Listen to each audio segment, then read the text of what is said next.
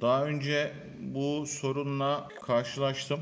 XP kurduğum laptoplarda herhangi bir sıkıntı olmuyordu. Ama Windows 7'ye geçtiğim zaman Windows 7 işletim sisteminde Step 7 Microwin yani SCD2 üzeri programladığımız Step 7 Microwin bağlantı noktası bulamıyor. PPI kablo oraya gelmiyor. Mesela Communication ya da Set PC, PG PC'den de yapabilirsiniz. Geldim bağlantı noktası şu anda yok. Interface'i açayım. Interface'i açtığımda burada PC PPI kablo yok. Ve ta 3.2 32 versiyonunu kurdum. 3.2'sini yani ilk versiyonunu kurdum. 4'ü kurdum. Service Pack 8, 9 denemeler yaptım. Gelmedi buraya PC PPI. Bununla ilgili yanlış hatırlamıyorsam bir tane patch dosyası vardı. PC PPI driver ile ilgili patch dosyası vardı. İnternetten de ona ulaşamadım. Şu anda okuldayım. Çünkü crack siteleri falan burada kapalı. Ama Ahmet sağ olsun şöyle bir bilgi gönderdi bana. Burada S7 EPI imp 64 exe dosyasını hocam dedi çalıştırırsan dedi. Oluyor. Şimdi bu komut satırını ben videonun altına açacağım. Bunu bat dosyası da yapabilirsiniz ama şuradaki yol her zaman bulamıyor biliyor çünkü 86 klasörünü atıyor ya da normal program faili atıyor. Önce bunun nerede olduğunu bulacağız. Şimdi açalım şunu. Geldim C'ye. Arayacağım dosya bu. Ctrl C, Ctrl V. Arasın. Bunları kapatayım hepsini. Zaten burada bir gariplik var.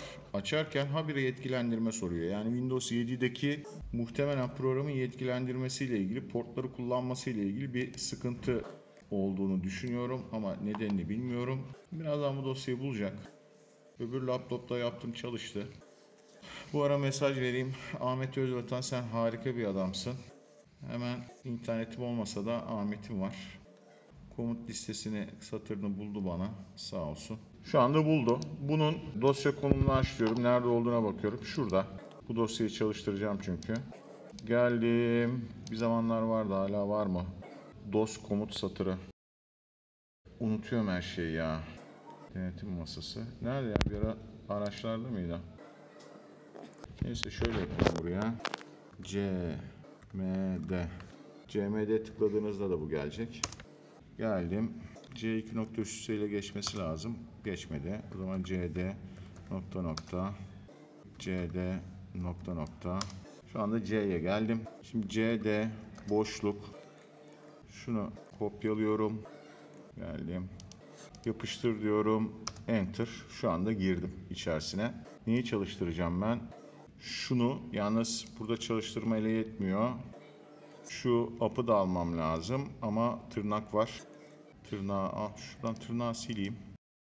Şimdi bunu normalde bat dosyası yaptığınızda yani normal bir notepad dosyasına bunu e, yapıştırıp uzantısını bat olarak kaydettiğinizde çalışması lazım ama şimdi bak şimdi şuraya bir kontrol V diyelim.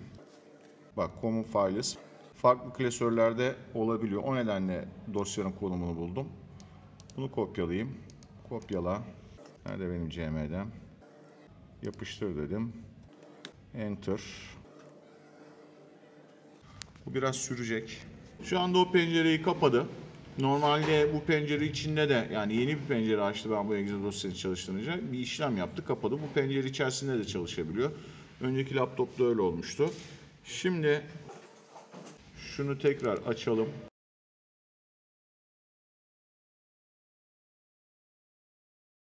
PC PPI kablo.